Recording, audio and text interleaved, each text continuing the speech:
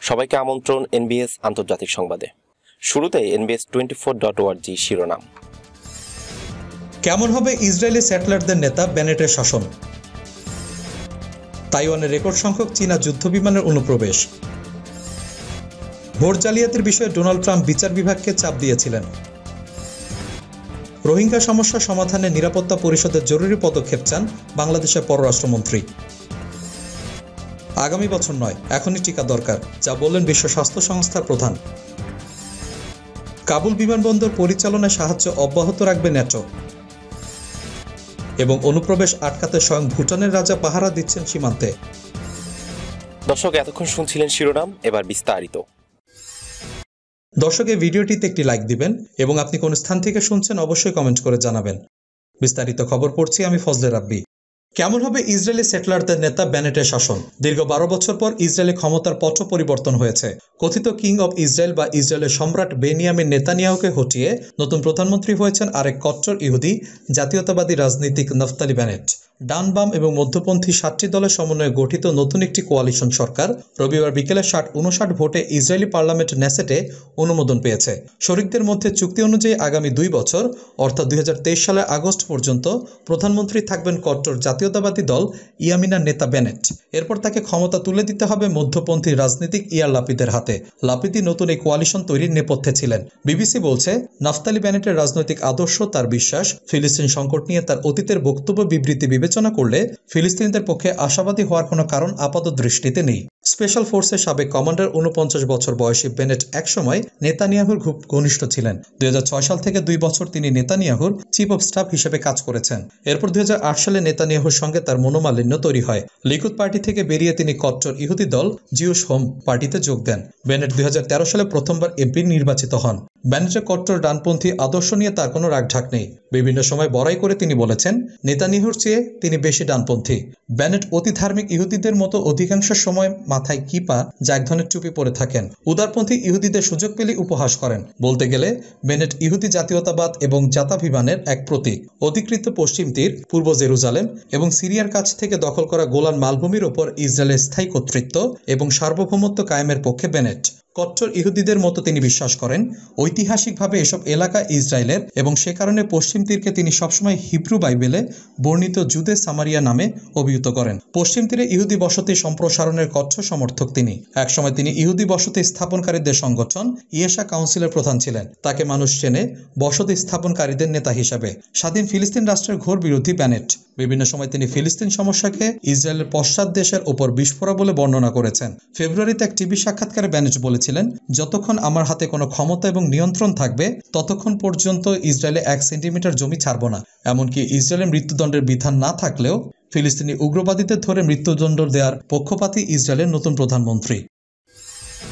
তাইওয়ানের রেকর্ড সংখ্যক চীনা যুদ্ধবিমানের অনুপ্রবেশ। তাইওয়ানে আকাশসীমায় অনুপ্রবেশ করেছে চীনের যুদ্ধবিমান। গতকাল মঙ্গলবার চীনের আঠাশটি উড়োজাহাজ তাইওয়ানের এয়ার ডিফেন্স আইডেন্টিফিকেশন জোনে প্রবেশ করে। তাইওয়ান সরকারের পক্ষ থেকে তথ্য জানানো হয়েছে। যুক্তরাষ্ট্রের গণমাধ্যম সিএনএন এর খবরে বলা হয়েছে, গত বছর থেকে আকাশসীমায় চীনের অনুপ্রবেশের বিষয়টি নিয়ে নিয়মিত প্রতিবেদন দিয়ে আসছে স্বশাসিত তাইওয়ানের প্রতিরক্ষা মন্ত্রণালয়। এই প্রতিবেদন দেওয়া শুরুর পর থেকে এটাই সবচেয়ে বড় অনুপ্রবেশের ঘটনা। এই বিষয়ে চীন এখনও কোনো মন্তব্য করেনি। চীন তাইওয়ানকে নিজেদের ভূখণ্ড বলে মনে করে, তাই এর নিয়ন্ত্রণ নিতে জোর চেষ্টা চালাচ্ছে চীন। কিন্তু তাইওয়ান নিজেদের স্বাধীন সার্বভৌম রাষ্ট্র হিসেবেই দাবি করে আসছে। তাইওয়ানে এমন সময় এই অনুপ্রবেশের ঘটনা ঘটল, যখন শিল্পোন্নত শীর্ষ সাত দেশের জোট জি সেভেন চীনের সমালোচনা করে চলতি সপ্তাহে সম্মেলন শেষে বিবৃতি দিয়েছে। তারা বলেছে তাইওয়ান প্রণালীর শান্তি ও স্থিতিশীলতা উপেক্ষা করছে চীন। যদিও চীন জি সেভেনের এই পদক্ষেপের সমালোচনা করেছে। সম্প্রতি কয়েক মাসে বেশ কয়েকবার তাইওয়ানের আকাশ সীমায় প্রবেশ করেছে। গতকাল মঙ্গলবার চীনের যেসব যুদ্ধ বিমান তাইওয়ানের সীমান্তে প্রবেশ করেছে, তার মধ্যে রয়েছে জে সিক্সটিন, জে ইলেভেন ও এইচ সিক্স বোমারু বিমান। এই যুদ্ধ বিমানগুলো পারমাণবিক অস্ত্র, সাবমেরিন বিধ্বংসী ও ইলেকট্রনিক অস্ত্র বহন করতে সক্ষম। এতগুলো যুদ্ধ বিমান তাইওয়ানের আকাশ সীমায় এর আগে কখনো প্রবেশ করেনি। এর আগে চীনের সর্বোচ্চ পঁচিশটি যুদ্ধ বিমান তাইওয়ানের আকাশ সীমায় প্রবেশ করেছিল গত বছরের বারোই এপ্রিল। এদিকে চীনের এমন অনুপ্রবেশের ঘটনার পর যুক্তরাষ্ট্রের পূর্ব এশিয়া বিষয়ক শীর্ষ কূটনৈতিক ডেনিয়েল ক্রিটেন ব্রিঙ্ক বলেছেন, তাইওয়ানের সঙ্গে সব ক্ষেত্রে সম্পর্কে উন্নয়ন করা উচিত যুক্তরাষ্ট্রের। মার্কিন প্রেসিডেন্ট জো বাইডেন ক্ষমতায় আসার পর, সম্প্রতি হঠাৎ করে চীনা বিরোধী কূটনৈতিক তৎপরতা বেড়েছে। সম্প্রতি জি সেভেন সম্মেলন থেকে যেমন চীনের সমালোচনা করা হয়েছে তেমনি পশ্চিমা সামরিক জোট ন্যাটো চীনের সমালোচনা করেছে। বেলজিয়ামের রাজধানী ব্রাসেলসে অনুষ্ঠিত শীর্ষ সম্মেলনে ন্যাটো নেতারা বলেছেন, চীন তাদের পরমাণু শক্তি দ্রুত বৃদ্ধি করছে। রাশিয়া সামরিক বাহিনীর সঙ্গে সহযোগিতার ভিত্তিতে চীন তাদের সেনাবাহিনীর আধুনিকায়ন করছে। এ খবর জানিয়েছে রয়টার্স। ভোট জালিয়াতির বিষয়ে ডোনাল্ড ট্রাম্প বিচার বিভাগকে চাপ দিয়েছিলেন। ডোনাল্ড ট্রাম্প ও তার সহযোগীরা গত প্রেসিডেন্ট নির্বাচনের ফলাফল প্রভাবিত করার জন্য যুক্তরাষ্ট্রের বিচার বিভাগের উপর চাপ সৃষ্টি করেছিলেন। নতুন প্রকাশিত তথ্যে জানা গেছে, ট্রাম্প ও তার সহযোগীরা তৎকালীন ভারপ্রাপ্ত অ্যাটর্নি জেনারেল জেফরি রোজেনকে এ নিয়ে ইমেল করেছেন। ইমেইলে নভেম্বরে অনুষ্ঠিত প্রেসিডেন্ট নির্বাচনের ফলাফল নিয়ে জালিয়াতি হয়েছে উল্লেখ করে তা চ্যালেঞ্জ করার জন্য বিচার বিভাগকে চাপ দেওয়া হয়। পনেরো জন প্রতিনিধি পরিষদের হাউস ওভারসাইট কমিটির শুনানিতে ডেমোক্রেটিক পার্টির উপস্থাপিত নথিপত্র থেকে তথ্য জানা গেছে। তথ্য অনুযায়ী তৎকালীন প্রেসিডেন্ট ট্রাম্পের সহকারী হোয়াইট হাউসের চিফ অফ স্টাফ ও তার নির্বাচনী ক্যাম্পেইন থেকে বিচার বিভাগকে একের পর এক ইমেল করা হয়েছে। এসব ইমেলে বিচার বিভাগকে ভোটের ফলাফল চ্যালেঞ্জ করে আইনগত পদক্ষেপে যুক্ত হওয়ার জন্য বলা হয়। তৎকালীন প্রেসিডেন্ট ট্রাম্প নির্বাচনের রাত থেকেই ফলাফল নিয়ে জালিয়াতির কথা বলতে থাকেন। তার এই অমূলক দাবির সঙ্গে তৎকালীন অ্যাটর্নি জেনারেল উইলিয়াম বার একমত পোষণ করেননি। নির্বাচনে জালিয়াতির কোনো তথ্য তাদের কাছে নেই এমন ঘোষণার পর উইলিয়াম বারের প্রস্থান অবশ্যম্ভাবী হয়ে ওঠে। ডিসেম্বরের মাঝামাঝি ট্রাম্প নিজেই জানান, উইলিয়াম বার তার প্রশাসন ত্যাগ করছেন। তারপর চাপ শুরু হয় ভারপ্রাপ্ত অ্যাটর্নি জেনারেল জেফরি রোজেনের ওপর। প্রকাশিত ইমেলে দেখা গেছে, হোয়াইট হাউসের তৎকালীন chief of staff Mark Meadows ভারপ্রাপ্ত অ্যাটর্নি জেনারেলকে কোনো ভিত্তি ছাড়াই ভোট জালিয়াতি হয়েছে বলে জানান। সহকারী অ্যাটর্নি জেনারেল জেফ্রি ক্লার্ককে ভোট জালিয়াতির ব্যাপারে আইনগত পদক্ষেপ গ্রহণের জন্য ইমেলে বলা হয়েছে। জেফরি ক্লার্ক সে সময় ভারপ্রাপ্ত অ্যাটর্নি জেনারেল হওয়ার জন্য ট্রাম্পের কাছে ধর্ণা দিচ্ছিলেন বলে খবর প্রকাশিত হয়। ভারপ্রাপ্ত অ্যাটর্নি জেনারেল জেফরি রোজেন ট্রাম্পের আইনজীবী রুডি জুলিয়ানিকে সহযোগিতা করতে অস্বীকৃতি জানান। রুডি জুলিয়ানি সহ অন্যরা তখন রটিয়ে দেন যে ইতালি সামরিক প্রযুক্তি ব্যবহার করে যুক্তরাষ্ট্রে ভোটের ফলাফল পাল্টে দিচ্ছে। ইতালি ডেমোক্রেট প্রার্থী জো বাইডেনকে নির্বাচিত করার চেষ্টা চালাচ্ছে বলে ট্রাম্পের সহযোগীদের পক্ষ থেকে গুজব ছড়ানো হয়েছিল। ভিত্তিহীন এসব কথা ভারপ্রাপ্ত অ্যাটর্নি জেনারেল জেফরি রোজেন আমলে নেননি। ট্রাম্পের সহযোগীদের পরামর্শ অনুযায়ী এ নিয়ে এফবিআই সহ অন্যদের নিয়ে সভা আয়োজন করা থেকে তিনি বিরত থাকেন। নতুন প্রকাশিত এসব ইমেলে স্পষ্ট দেখা যায় যে ট্রাম্প তার ভুয়া ভোট জালিয়াতির অভিযোগ নিয়ে বেপরোয়া হয়ে উঠেছিলেন। তিনি নিজেও তার সহযোগীদের দিয়ে মার্কিন বিচার বিভাগের উপর চাপ সৃষ্টি করে নির্বাচনের ফলাফল পাল্টে দিতে চেয়েছিলেন। এ নিয়ে ট্রাম্পের সহযোগীদের ইমেল চালাচালির খবর আগেই নিউ ইয়র্ক টাইমস সহ অন্যান্য সংবাদ মাধ্যমে প্রকাশিত হয়েছে। নিউ ইয়র্ক থেকে নির্বাচিত প্রতিনিধি পরিষদের সদস্য ক্যারোলাইন ম্যালোনি ট্রাম্পের আমলের হোয়াইট হাউসের চিফ অফ স্টাফ মার্ক মেডোসকে শুনানিতে অংশগ্রহণের জন্য চিঠি দিয়েছেন।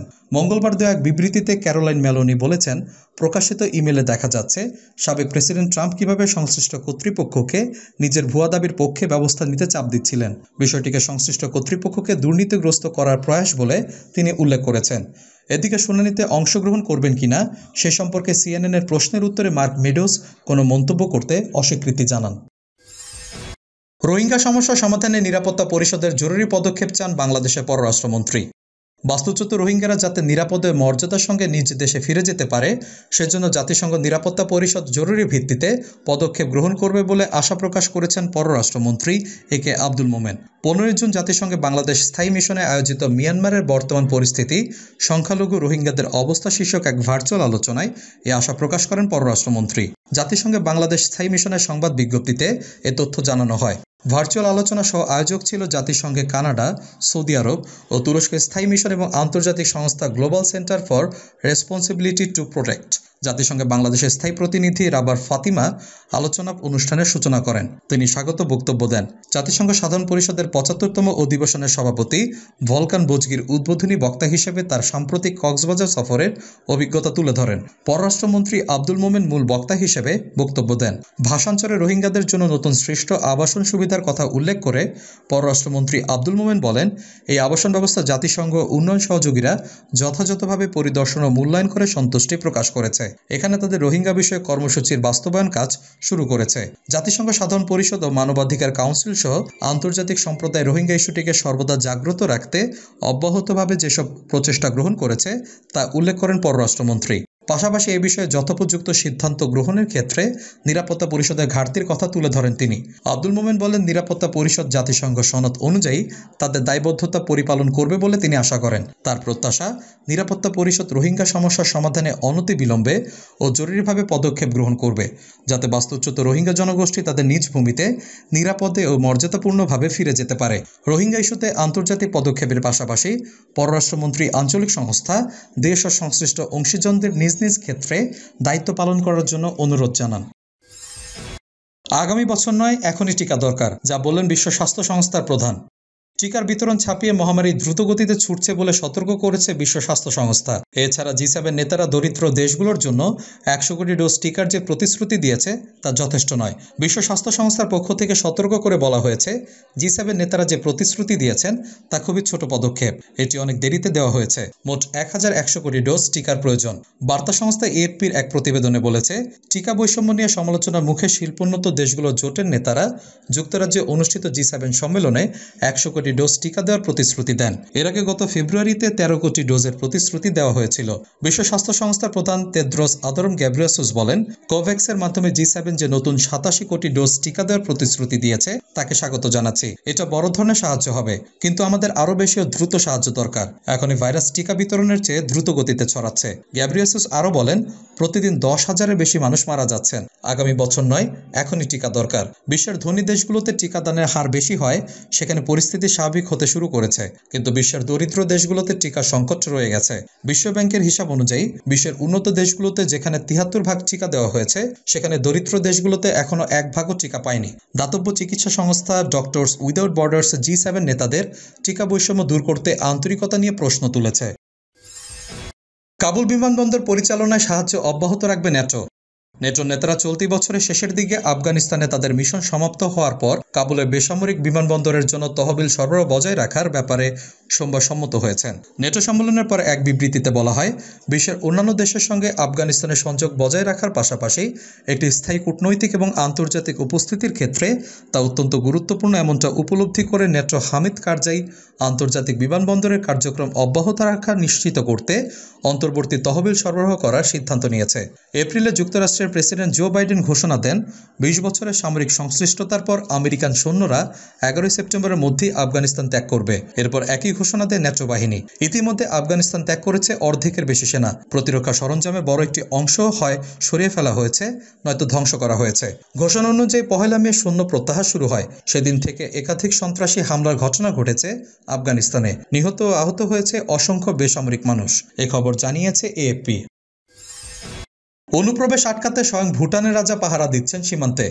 অনুপ্রবেশ আটকাতে স্বয়ং রাজা সীমান্তে পাহারা দিচ্ছেন, এ কথা শুনেছেন কখনো? গত পাঁচ দিন ধরে দেশের পূর্ব সীমান্তে ভুটানের রাজা জিগমে খেসার নামগিয়েল ওয়াংচুক নজরদারি চালাচ্ছেন। অনুপ্রবেশের কারণে যাতে দেশে করোনা সংক্রমণ না বাড়ে, তাই এমন উদ্যোগ রাজার। তার সঙ্গ দেন প্রধানমন্ত্রী লেটে শেরিং। ভুটানের মিডিয়া অ্যাসোসিয়েশনের প্রেসিডেন্ট তেনজিং লামসাং রাজার পাহারাদারির ছবি টুইট করেছেন। করোনা অতিমারির মধ্যে সব দেশের প্রশাসনই সংক্রমণ নিয়ে সজাগ। বিভিন্ন দেশের সরকার বেশ কিছু কোভিড বিধিনিষেধ জারি করেছে। সীমান্ত নজরদারি বাড়ানো হয়েছে যাতে অনুপ্রবেশ না ঘটে। কিন্তু দেশের রাজা নিজেই সেপাই পেয়াদা নিয়ে সীমান্তে নজরদারি চালাচ্ছেন এই দৃশ্য নজর কেড়েছে গোটা বিশ্বের। গত মে মাসে প্রধানমন্ত্রী শেরিং জাতির উদ্দেশ্যে বলেন, এখনই যদি আমরা নিয়ন্ত্রণ না করি, তাহলে দেশ শেষ হয়ে যাবে। দেড় বছর পরেও করোনা অতিমারি নিয়ে দেশবাসীকে সচেতন থাকতে বলেছেন তিনি। কিন্তু রাজা খোদ যেভাবে দেশের পাহারাদার হয়ে কাজ করছেন, তার কোনো প্রশংসাই যথেষ্ট নয়। অতিমারি আবহ এই নিয়ে চোদ্দ থেকে পনেরো বার সীমান্তে নজরদারি চালালেন রাজা। ছবিগুলো পোস্ট করে ভুটানের মিডিয়া অ্যাসোসিয়েশনের প্রেসিডেন্ট তেনজিং লামসাং লিখেছেন, অতিমারি পরিস্থিতিতে রাজপ্রাসাদে খুব কমই থেকেছেন রাজা ওয়াংচুক। দেশের সুরক্ষার খাতিরে ঝড় বৃষ্টি উপেক্ষা করে সীমান্তে নজরদারি চালাচ্ছেন। রয়টার্সের রিপোর্ট অনুযায়ী, ভুটানে এখন পর্যন্ত আঠারোশো ছাব্বিশ জনের সংক্রমণ ধরা পড়েছে আর একজনের মৃত্যু হয়েছে। প্রতিদিন গড়ে সতেরো জন আক্রান্ত হয়েছেন। দর্শক, এই ছিল এখনকার মতো। আমাদের পরবর্তী সংবাদ দেখার আমন্ত্রণ জানিয়ে বিদায় নিচ্ছি আমি শফিউল আলম আরাফ।